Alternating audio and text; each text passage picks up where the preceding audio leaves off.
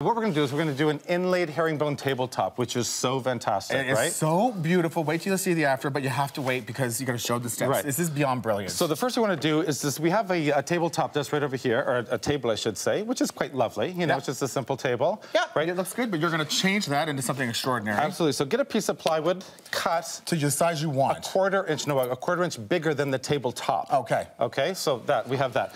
Then we need to find the exact center. Then from the center, we're gonna get our protractor.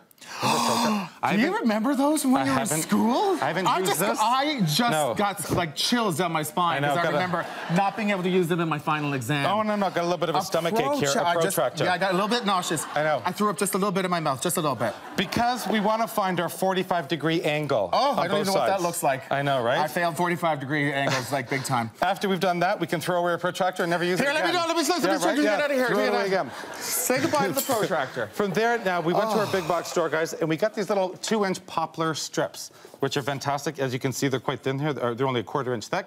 Um, and we cut them all down over here to six-inch strips. So they all have to be the same size. Exactly the same size. Actually, you could even go to a big box store and see if they'll cut them for you, right? Yeah. So here's where the magic starts. And once you make this, we're gonna come over and we're gonna grade it for you, okay? Right. You're gonna get a star or no star.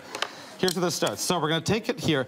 Now, it's very, very important. The first two that you lay in Okay. have to be exact. Otherwise, the rest of it will be messed And up. remember, these are easy and inexpensive. The word easy. These have to be exact. Exact. Just the first two. Just okay. After that, you're free. Yeah. Okay. Yeah. Okay. So we have a nail gun here. You could use a, a regular. Uh, Point it down. There you go. it's not gonna fire. Point it down. okay. Uh, you could use just a regular hammer and nails, um, Yeah. but you know what? You can always go to big box stores and they rent these. Kevin is behind the camera. Point it down. Okay. So, So you can actually rent them any any Home Depot kind of thing. Absolute any big box stores, Yeah. yep. Okay. So we're That's gonna- what big box store means, right? we're right? gonna Yeah. lay in our Got it. second one, okay? Okay. And we're gonna nail it down. Christopher, Yeah. clear, Clear. right? Clear. So you can see where we're going. So herringbone, Do the next one because I want to know if it was perfect. It was perfect, look was at it? that. Of Steven doesn't do anything unless it's perfect. I'll rip the whole thing apart, redo it, right? But as you can see here, so what herringbone is, as you can see, it's then this one goes in, this one goes in. Do you see where he's going with this? Isn't it? zigzagging Yeah, back and it's gonna look right? great. Okay, let's flip her over.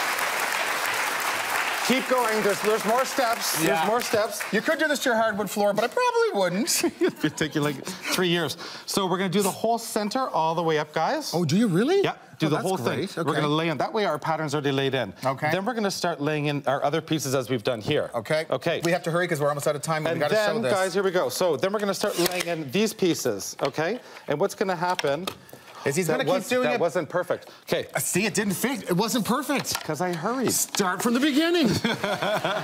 okay. Okay, so then from there, what you want to do is you can have all these overhanging pieces. Yeah. Right? So just literally have cut those all off so Yeah. your edge is nice and smooth. All right. And then we're going to get the side piece. Yeah. And again, we're going to use the same Heather, wood. you get a shot of that And there, put this Heather? on, and then do it so all that is completely level. See, it's going to be uh, like a quarter inch up. Yeah. And that's going to wrap around the bottom, right? Absolutely. So, then do it looks that. nice and thick around the sides. You stain it all. Okay, so right? let's go over here and look at it, guys. What do you stain think? It, it looks like that. Look at, isn't that beautiful?